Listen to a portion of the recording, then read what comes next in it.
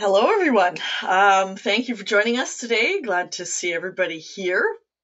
Um, so we're going to start today. We're going to talk uh, a little bit about what cost and, and uh, is in the build um, package in the ACC, and then I'm going to do my version of demystification from a text point of view is um, not high level. I'm going to get into the granular bits. We're going to start a project. We're going to talk about project templates.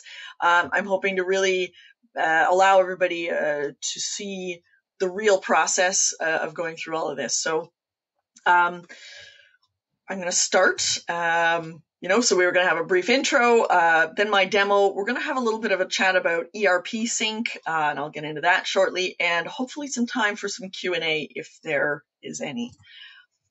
So let's get started here. Uh, the construction cloud, if you have heard of it, if you're not quite sure what it entails, it is um, a unified platform. So Autodesk has sort of been pulling together tech from um, various platforms, and we've got it all into one place right now.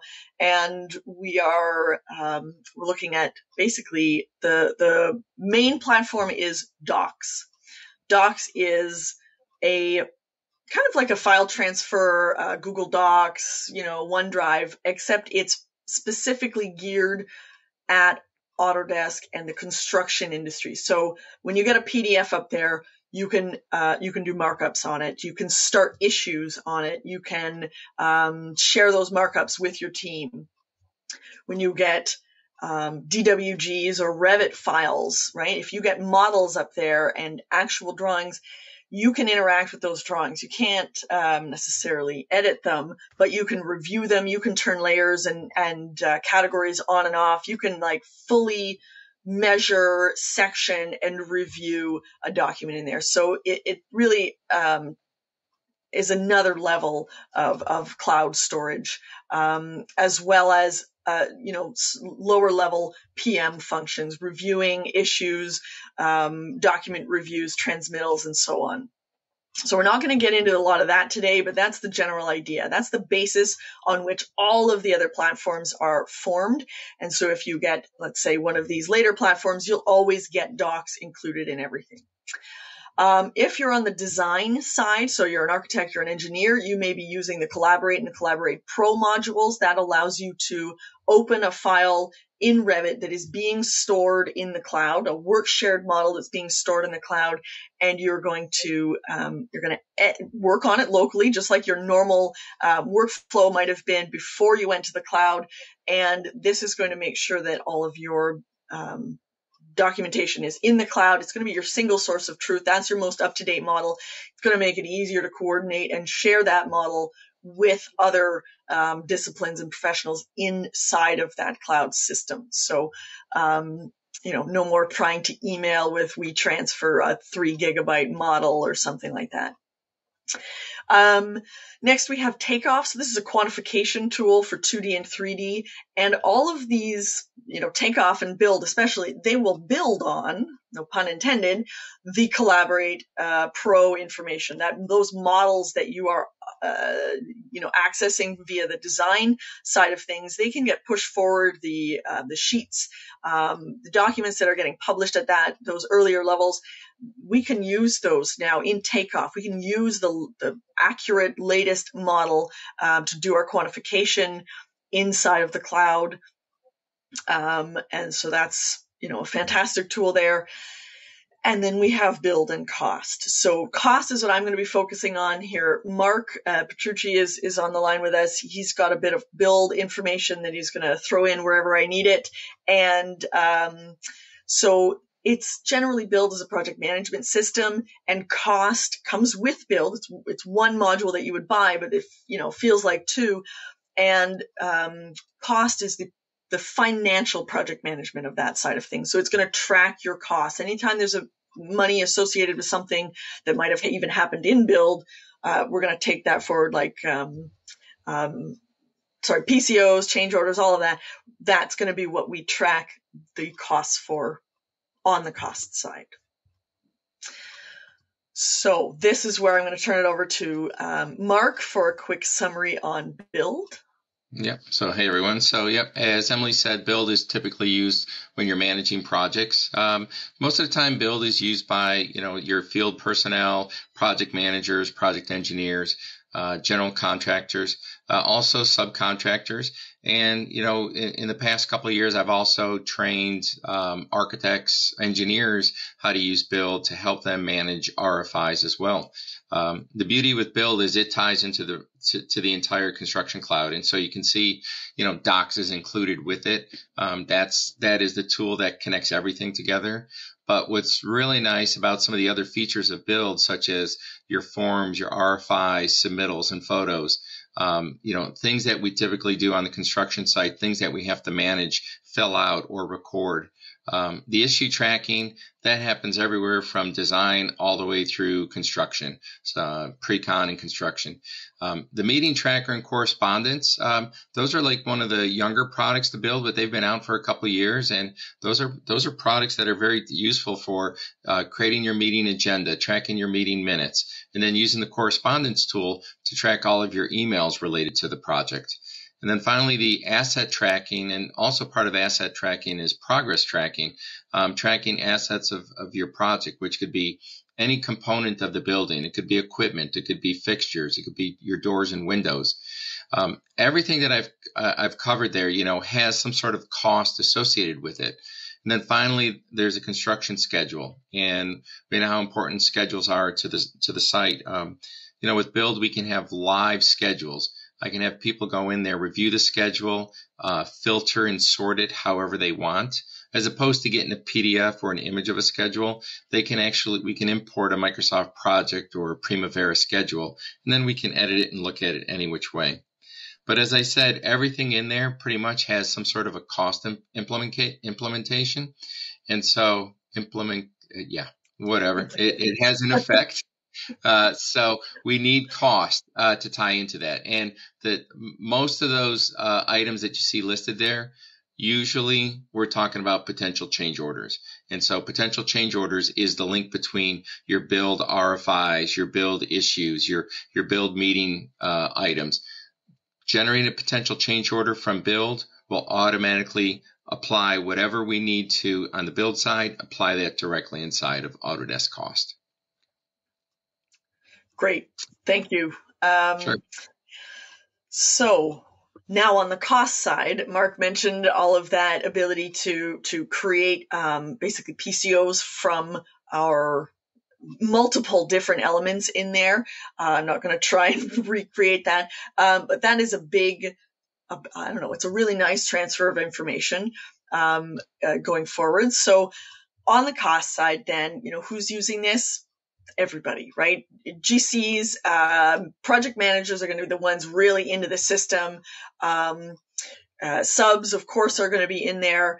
Uh, I highlighted here not accounting. Now we're we in the construction industry are trying to take people out of their silos and be able to share data more. But um, ask an accountant if they want their project managers in their system, and they're gonna. That's a big no. So what we're trying to do here is um, allow the project managers their control over a, project level um, construction budget without having to deal with the accounting stuff that they don't know about, right? So we are trying to actually sort of keep them siloed. Um, but my last point here actually deals with uh, the integration of that data. Even though we're we've kind of pulled it apart, um, in this case, we want it to come back together at the end. So I'll, I'll get there.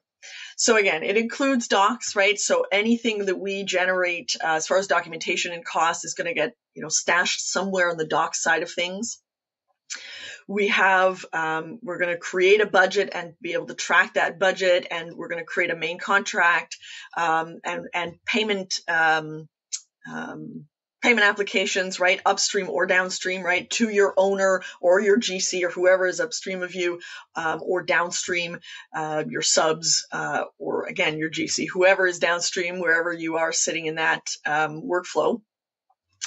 We've got change orders, which is where we can bring information forward in the form of PCOs from um, build. Forecast and progress tracking. This is um, again, progress tracking is one of the newer sides of this, uh, but forecasting has been around for a little bit, and we can take the schedule again from build and and kind of break it down, apply budget elements to it, and then forecast uh, over the length of the project what we're going to be spending.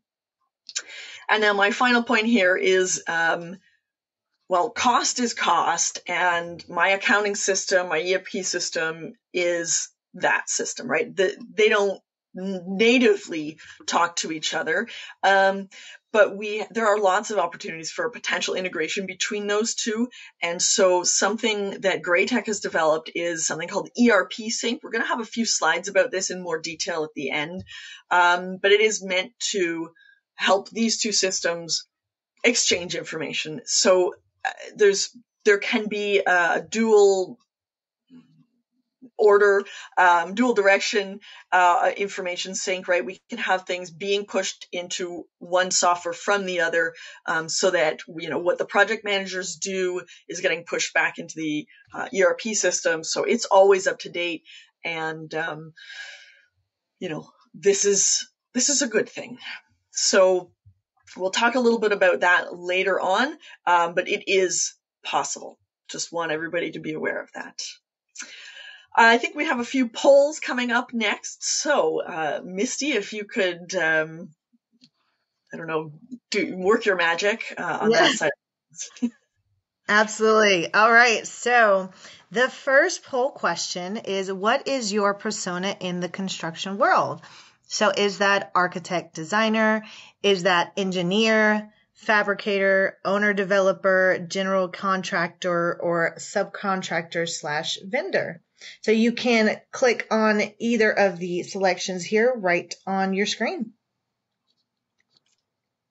And so I know, um, good, we've got some GCs in the house. That's probably the primary um, um, persona right now, but I have a lot of subs who are getting into this um, to track everything and we i'm wondering i'm more curious if any architects or designers are going to be involved.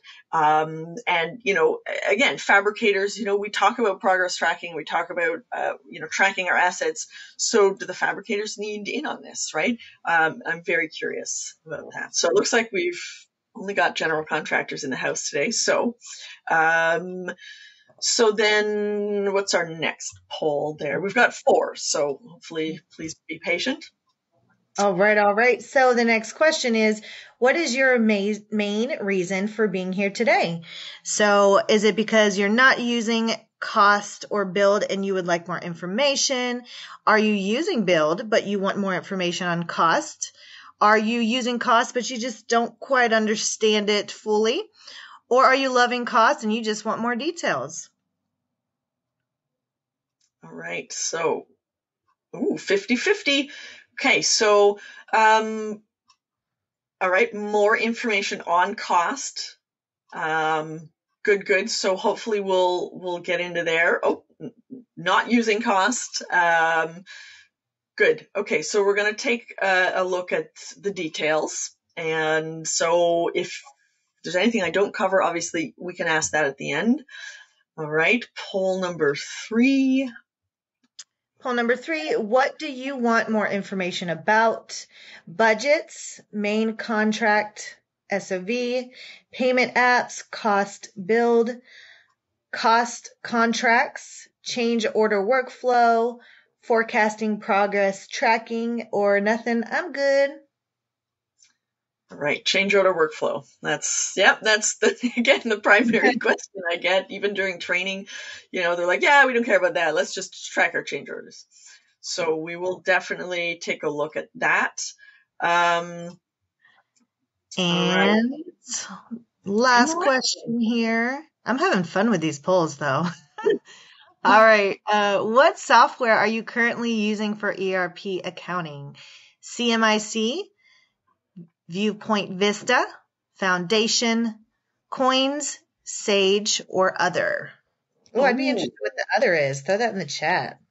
Yeah, yeah. If you've got other, we definitely love to know. This is going to just help us direct our efforts for our ERP sync to see what really is being used out there by everybody. Um, because we've got some integrations that work already, We've got more in the pipelines based on you know customer demand. So please uh, let us know what you are using in the chat. All right. Okay, thanks for that information, everybody. So, demo. Okay, so this is where we are going to kick into um, cost demo. If I can find the right, there we are.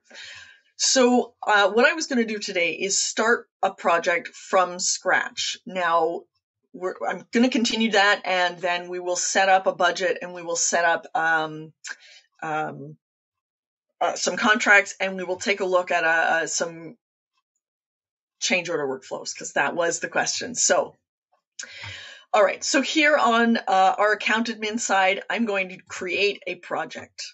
Okay. And so I'm going to throw my project in here. We're going to call it uh, cost webinar. Um, that's fine.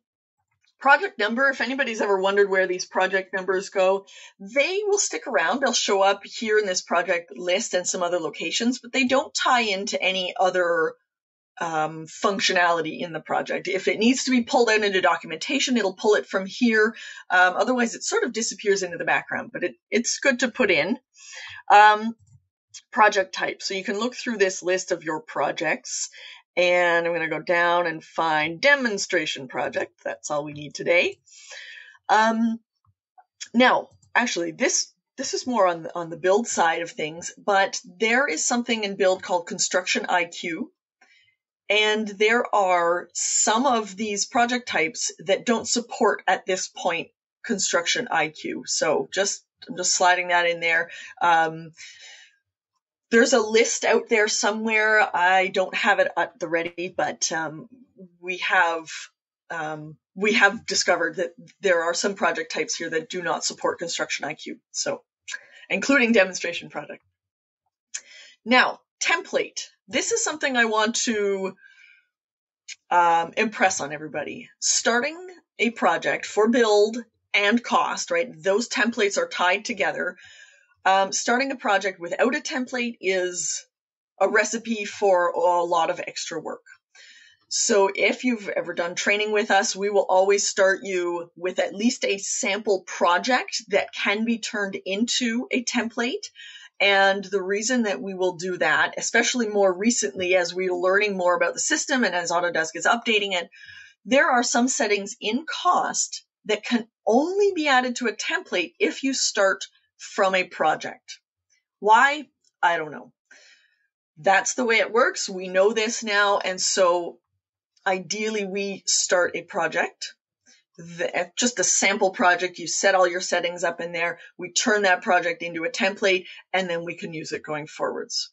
So I am going to grab my, uh, my typical template here. Address, time zone, all of these things are useful for your home pages. It'll show you the correct weather. It will make sure that you're getting updates relative to your time zone. And of course, you know, we always want a start and end date for a given project. So we'll make this one be about a year long and one, two, three, four, five, six, seven, eight, nine. $123 million project. And I was going to pop this into Canadian just because um, I'm down here in the southern Ontario, um, and apparently I don't know my alphabet. there we go. All right, so I'm going to create this project. Um, so we're going to let it start getting set up here. So on the member side, uh, I'm going to select myself a role. Um, oh, no, I'm not a landscape architect. I was going to go with a BIM manager. Now I wanted to talk a little bit about roles. People that you add to the project can have multiple roles. So you're going to have maybe, you know, five different subcontractors. They all may have the role of, you know, um, specific um, people as well as they like they might be an engineer or they might be a landscape architect or they might be someone very specific that you will have created for a role for. But then in terms of permissions they might also just be generally grouped under something like a subcontractor so that you can add subcontractors to a permission setting with um, you know, generically, but when you want to get more granular and send individuals, you want to send the engineer a notification, it doesn't go to all of your subcontractors. So put, giving people multiple roles can benefit you later on. Uh, as far as breaking down what you what controls their abilities in the in the um, the system. So here I'm going to turn on um, I'm just going to turn on docs and build and cost management here. And I want to call your attention to in the cost management area here, it says view all tool permissions. So once you turn cost management on, I'm not going to click on this just yet, but I will go there eventually. There is a shortcut here to jump to your member permissions related to whoever's in this project. Um, and you can control a group of people, like all of your subcontractors, and what they can see. These permissions I have built into our project template so that I don't have to worry about them every time. And I know that everybody's assigned a project subcontractor role is going to be um, attached to my project, my subcontractor um, permission settings later on. So there's a lot you want to do in the early stages to get this set up. All right. So now I'm going to refresh this list because it looks like I'm the only member, but there are actually a number of other members in here that were part of my project template again. So if you've got consistent vendors you work with or just team members you want in there on every project, they can be assigned automatically. So all I had to do was refresh there and you can see everybody here. So here's my subcontractor. Um, I'm actually going to make them a landscape architect, um, not an MEP, a little closer to my heart. And these, this person is just a project member. They're going to have access to cost and I will show you their, their permissions as a subcontractor. So their role is landscape architecture, but I also want them to be a subcontractor. All right, and I'm going to leave the rest of these people. Let's see. Uh, I was going to make Eric um, document manager and, and so on. All right, and I think I needed somebody in here to be my general contractor. All right, maybe I don't have one in here. Um, that's what I was going to do. Vandelay. All right, he's going to be my Vandelay contractors. Perfect. So you're going to assign everybody a company based on companies um, set up within your system. Now, often that takes place on the build side, but if you are not using build or you haven't maybe added everybody, um, this is something that can come through an ERP integration. So those companies, those vendors can be pushed from your system into build um, or we set them up here and we can push it the other direction. So a lot of information can go wherever you're going to set it up first or have a more organized list first. All right, so we've got our uh, admin side of things set up. Now, if I go to settings here, these aren't the settings I want. I want cost specific settings, but just so you know, there is a shortcut to some of your different product settings from here. So I can just go to settings here and I can go to cost. Now it does open a new tab. I hope everybody's got their own tab browser for this. Um, but it's going to take me to my cost settings, which is where I need to go next anyways. So we'll let this run through um, just setting up that project. It's going to be a second. And where do I want to talk about now? Um, this is also where we can save as a template. So if there are any settings in here, we once we've set this up, we can save as template from here. There's a lot more work I need to do before this is template ready though if this were a template project. So once this is set up, it's going to start us either in the settings because that's where I clicked to jump in here, or it's going to start me in the budget area. But basically the budget area is going to tell me that I have to go to settings first. So that's where we will head immediately after it finishes setting up this project. And while it's setting up, maybe I'll show you settings that I already have open from um, my project template.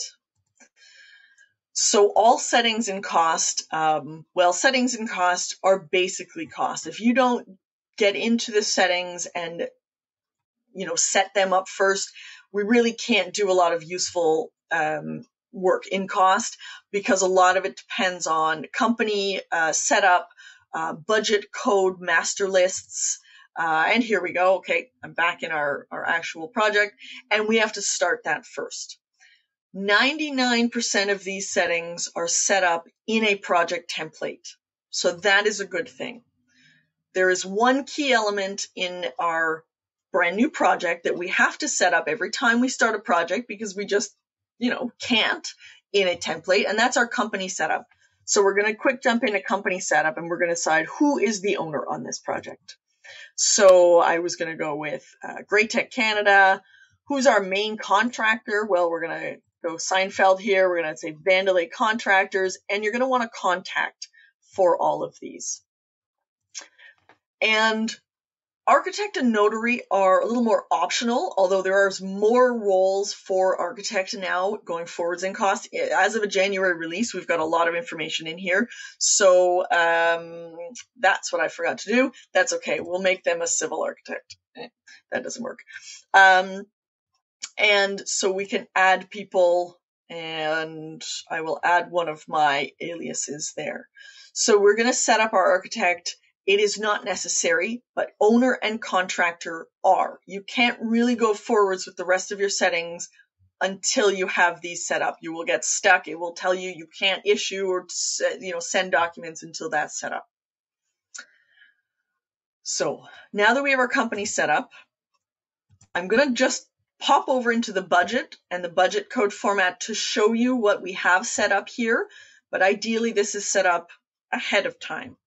So our budget codes, when we go into our budget and we upload the document shortly, it's going to be a project number. Uh, first, six digit project number. Then we're going to have a CSI code, also six digits. Okay, we've got a fully, every potential CSI code that we might want should be in here. And we also have a category here, just the three letter quick category at the end. So your project number or your sorry, your cost code is basically going to look something like this, right? Project number, CSI number, um, category. Now these we can have as many or as few as you want. I have people that are working with seven different segments. Wow. Uh, and I have people who are working with just one. So this is completely customizable. This is probably the first thing you guys should start talking about internally if you guys are looking at cost. Figure out your budget codes, get them cleaned up, and we get them into this master list here. The master list gets put into your project template and allows us then to just project to project come in and upload a budget. So here we are on the budget side. Um, nothing is visible. Nothing comes in on the budget side with a template. Um, and I'm going to go to edit mode. There are two ways to get a budget in here. We're going to hit the add button and I'm going to manually fill out information, right? 4159. There's my project number. I can grab information from here and it will build me a line item in my budget, right? I go through, I fill out my quantity, my unit cost, and my amount. That is basically what we're already doing in Excel. So you could do it here and forget about the Excel piece. This is definitely an option, although it is not the option I'm going to work on today. So I'm going to delete that. I'm going to import um, a budget from already set up uh, data and I can drag and drop here and of course, it's not going to work. It worked before, but now it's going to change its mind. Um, let's see what I have here. We're going to save that and we're going to try it again. Of course, of course. Let me double check my budget code format here. So, oh, I know. I did change something previous to this. I have a hyphen in between all of my categories and I had left it out here. So I think that's going to be my issue. Let's import that again. There we go. quick fix, import something to change on your template. Your templates are always living documents, so things will need to be tweaked as you work through projects. So don't feel that you're ever going to have this finalized absolutes in cement, um, you know, project template. Okay, so I imported my budget there. Couple of quick once it once it's formatted correctly, couple of quick duns, and you have a full budget list here, right? Everything is filled out. If there are zeros, because maybe when you uploaded this budget, you didn't know what they were going to be, we can go in and we can decide, you know, how much time we're going to need for all of these people, um, you know, on the project. And we'll just pop a bunch of values in here so we can have um, a proper budget. Okay. So you can edit it after the fact or have it completely filled out when you are uploading it. And I want to call attention as I scroll down. I've got a couple of items with sub items here. So I've got a main concrete substructure uh, line item. It's got a total value, but I also have all of these sub items here. These sub items basically make up this total value. Now, I don't have it everywhere. Some line items are just one line item, and I've chosen not to show those sub items. Um, when I build sub items like this into my budget, I am currently in edit mode. This is this is my full full visibility edit mode. When I uncheck edit mode or unclick that, and I see my budget, uh, those are in the threes. I do not have access to those. So if you have project members in here who do not have access to edit the budget, they will not see those line items, those sub items. So a big discussion I always have with people is whether or not they will have an entirely flat budget. So those, those sub items will end up getting pulled out into main items or not. This is really important to people and it just speaks to how they're going to structure the whole budget and what you can and cannot see. Okay, so now uh, we've got our budget. We're going to talk about a main contract. I have to set this stuff up before I do anything else. Unless for some reason you aren't using a budget, you're only using contracts to track change orders. I have done that before, but that isn't really the way it's supposed to work. But um, so in our main contract, again, I have this edit mode area and before I can bring my budget items in, I'm going to hit the add button and I'm going to call this, you know, prime contract 01. And I'm going to just call it prime. This is the physical um, collection of items that will be the prime contract schedule of values. I have statuses that I can put it in. Right now it's draft, so I'm going to leave that blank. And I will pick an ultimate type of contract that I am about to create. And again, there are a couple of different ways to get your budget into your main contract. If your budget is going to be transported into your contract as is, almost or all of the line items in your budget are going to be listed here in your main, great. We have a very straightforward uh, option there to select all of them, or let's say leave out the internal stuff, right? We can deselect items and we can hit create main contract schedule of values. And it will bring everything that is checked over into the main contract as is. That's what I'm going to show you long term. I just want to show you how we would do it a little more manually if we did not want our entire, you know, 700 budget line items in our um, main contract. So underneath my prime, I can have more than one main contract in here. If you've got a subs and a general, if you've got multiple contracts, you can have them, which might be why we need to break out our budget. So here I'm going to either add sub item manually and type in, you know, another item. This, these are my internal costs or these are my subcontractors.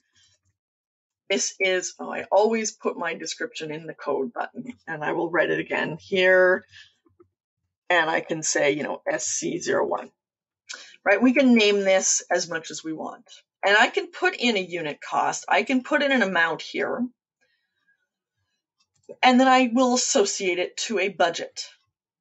If I do it this way right now, I can only associate it to one budget at a time. So if this were all of my subcontractor costs at one time, I can't just click my budget code and drop down.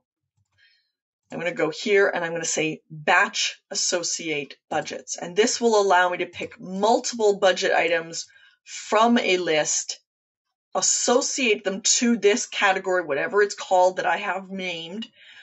And if I'm going to do this, we may want to preserve main contract value. So let's say you bought all these contracts out at a price of, you know, $7 million, but really their total of all of them is like six and a half million. I want my 7 million that I've maybe typed in here to hold, knowing that I'm going to make, you know, 500,000 on that. So I don't want the totals of these budgets to become my unit cost or my, my total value here. I'm going to preserve my main contract value of whatever I want to type in. Okay. So this is a way to associate, to make your own categories in your main contract and then associate all of those sub items with it. And what it will do is it will actually break down that um, the main the the value that I put in here. Let's see. I don't know if that's yeah four million. It will automatically break down whatever you had potentially typed in in your budget for these, and it will kind of renegotiate that. And it'll, in my case, um, it broke them down evenly. If I had set this up before, it would have taken a percentage of what they originally were and broken them down by that. So really it just summarizes all up into your agreed on amount with whoever is upstream of you. Okay. So this is one option. So that's a little bit more involved, um, but it is very organized, right? It's it's very meticulous that you can you can really structure it how you want. The last thing we can do here, and no, the last thing, the first thing that I'm going to go back to though, and how I'm going to structure this is I'm going to grab everything. I'm going to create a main contract. I'm going to assign it all to the prime. I'm going to create budget groups based on what do I want to group this by? Do I want to see it grouped by CSI? Mm, probably not on my main contract. So I'm going to go with category here.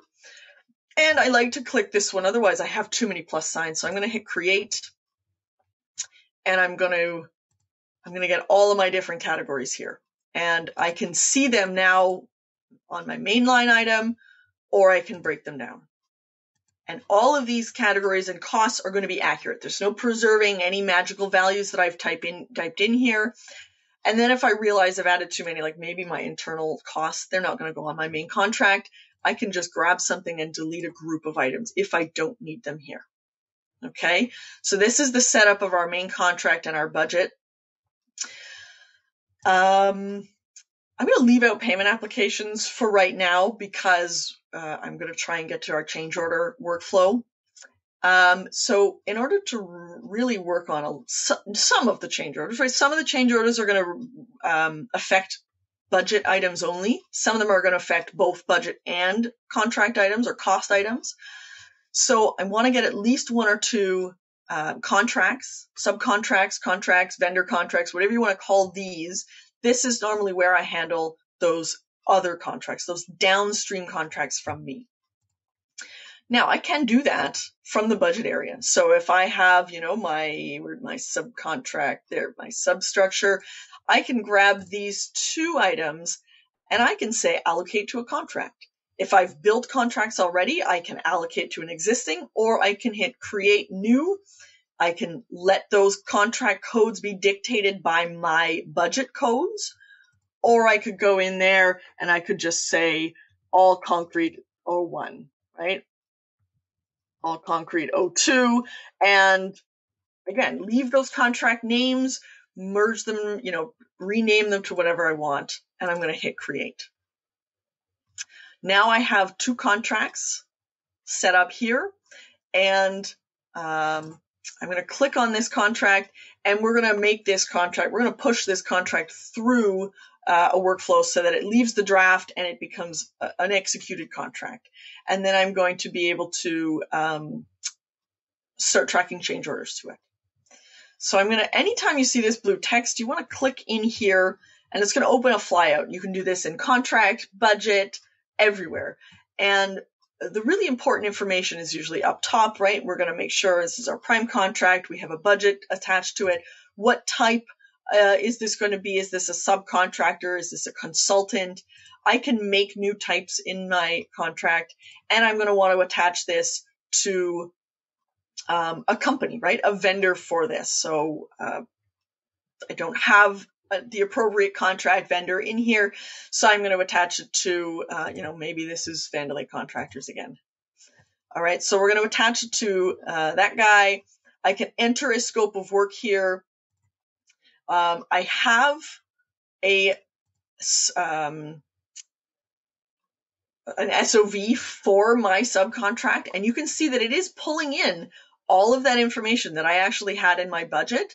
When you create your contract like this, it will pull in those sub items if there were any. So this is what you, let's say, have received from, or this is what you're budgeting for. And when we um, request supplier input, when this goes out to my subcontractor, this is going to um, they're going to have the chance to review all of this information and send it back to you. So I'm going to just set as pending supplier input. I'm not going to have this send a million emails to my coworker. It's going to set as submitted. Um, and on the other end, it is requiring documentation. So I've got some compliance requirements set up here, which are important. Um, we can upload some of these documents from um, our computer here. I've got a lien waiver. I'm just going to upload my lien waiver three times because I don't have a sample document for all of these compliance requirements right now. But the goal of these requ- compliance requirements is that a document is uploaded and satisfies ideally that criteria. The document is not read or managed, but a document is required. Okay. So it's attaching those to my documents as attachments. And generally I can generate or I want to generate a, cost document, right? When I get enter into a contract with somebody, whether it's my main contract or a subcontract, I'm going to generate them, right? It's got to go out for signatures and review. I'm going to generate a document package. Um, and so we're going to have that generated up here. And so these are all green at this point. My subcontractor, having uploaded all of those information, will be able to submit this to back to us. So I'm acting as both. So they have technically added those. I'm going to set as submitted and we're going to send this off for official um, signatures and set as executed when they come back signed. So I now have uh, a contact, uh, sorry, a contract in here. And we can now, we can take a look at our change orders from both sides of things. So PCO, this gets some pushback from contractors or everybody in the system. This is a change event. This isn't a PCO yet. I got a lot of, I don't know, resistance on this. The way that Autodesk treats a PCO is it is a thing that may cost you money in the future. The PCO doesn't go anywhere. The PCO holds on to that information. It is where the RFI gets put. It is where the issue gets pushed. It is where the meeting request gets pushed or the meeting issue gets pushed from build into this PCO. And it is where all of my um, change order workflow starts. I cannot do anything directly into any of these other tabs. So I'm going to add a, a change order here. So name, um, the thing that needs to change. There's my, it'll automatically number it based on settings you have defined. And looking at this, I can choose in scope. That's going to be a cost or contract change only. Budget only change, only affecting a budget item. Out of scope will allow me to do both budget and cost changes and say, well, so will contingency. So I'm going to click on out of scope. And at this point, there's there's not much to do with it. Everything's in draft, but in order to go forwards, I really need a cost item. What is going to cost me the money on this? So the thing that costs is going to be attached to that, and that thing that costs gets attached to a budget item or a new budget item, right? If it doesn't exist already, if this is a whole new thing you didn't budget for. All right, so we're going to just say uh, sundry materials, right? This is a bunch of stuff we forgot to buy. I can attach it to um, a contract. This budget isn't associated with a contract. So right now, if I work through this, I only have budget change information. So that's going to be um, a change order request and an owner change order, right? Those are upstream changes if let's say I attached this to um, it was my substructure concrete that I had that one. This now has a contract attached to it, and so I will be able to make my request for quotation from my subs and my supplier contractor change order, supplier change order, and my budget, my upstream and my downstream. Okay, so if you're if you're wondering what's gone on in the past, this is what you have to make sure you understand about these. Okay? Budget and cost means it needs a budget item and a contract. So we've got all of that set it up here. And at the PCO stage, I can enter an estimated cost. Like, oh God, I hope this is only going to cost me 5,000 bucks. Now, as I work through this, I can set as open, right? Now as I set as open, other people on my team will be allowed to see that. Drafts are, are personal. And I now have budget and cost information to push through. So I can go budget change and I can generate a change order request, or I can jump right to an owner change order if I don't use my change order requests. And same with on the cost side. I can generate the RFQ if I use it, or I can jump right to an SCO if I don't. If you are not using the RFQs and the CORs, you can disable those in your settings. So they are not a tab that you need to worry about. They will not show up here. That's an important thing to discuss. Figure out what you're using and get rid of it if you do not need it. And finally, if I need any documentation here, I'm going to click on my blue text and I'm going to create my document package.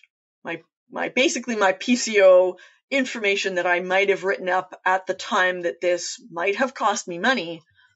And then when I need to generate these future documentations, I can pull this in if I need to. Man time flies in these webinars. All right. So I'm going to generate, I'm going to jump right to the OCO stage. I'm going to generate an owner change order. And actually, sorry, I have jumped too far. I'm going to generate first, I got to go downstream. I got to figure out what this is going to cost me reality. I need my uh, supplier to tell me what this is costing me. So the supplier is going to come back and they're going to say, actually, you know, it's only 4,800. Yay. Oh, not 45,000, uh, 4,800. So great. I'm going to save 200 bucks. So that's my estimate. I'm going to generate my supplier change order. Great. So I now have a few values in here. So as I would go through, right, if I were to do a propose and submitted, those would come from my RFQ and COR, right? Those are the early phases. Since I jumped, I'm going into straight into committed.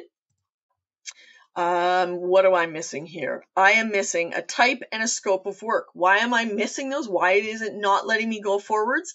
I set up a contract requirement that says in my tem- template you have to tell me what kind of um, change this is. Okay. And I need uh, at least some info in here. So I have to have a value there before I can open up this as an as a an SCO and before I can send this anywhere else. So I've sent it out to my supplier. They're going to review it. They're going to sign it. They're going to call me and they're going to say, nope, and then when they say yes, we are going to execute it. Now that that's been executed, um, I can actually go back to my PCO and I'm going to execute my budget change. So now that I know how much it's really going to cost me, I can generate uh, my upstream change order. Okay, so I have been approved for, you know, maybe I'm going to generate this and I'm going to still go with $5,000 because um, that 200 bucks is, you know, overhead. So I'm going to generate this and I can add markups to this. So again, that 200 bucks, maybe I left it at 4,800, but then I added my fee on fee. Um, and so we can see these markup, this, this bit of markup on there as well. Okay. Now I'm going to, oh, I need some information.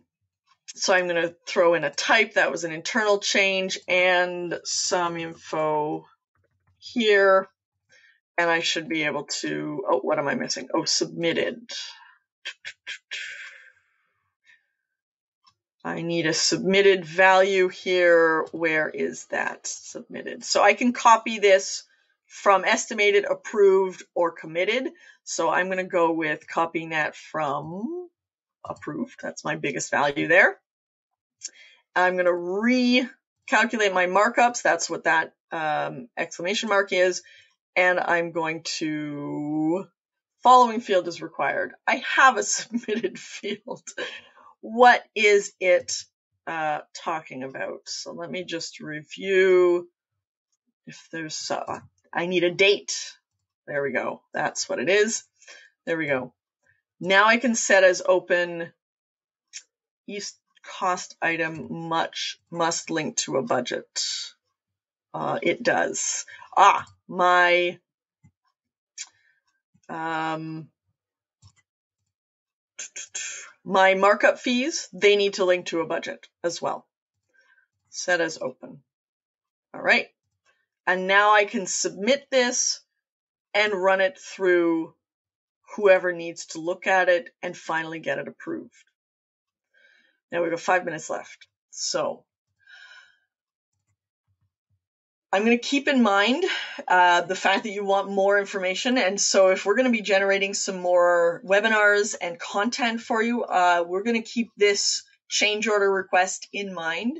And so, maybe we can uh, follow up with you if you've got some questions um, and push out more detailed information on the change orders or specific questions. Um, but we're going to have to wrap, start to wrap things up. And I do want to just briefly talk about um, uh, our ERP sync that I mentioned at the beginning. So we, um, you know, there are companies that will help you sync right now, sync your data between them.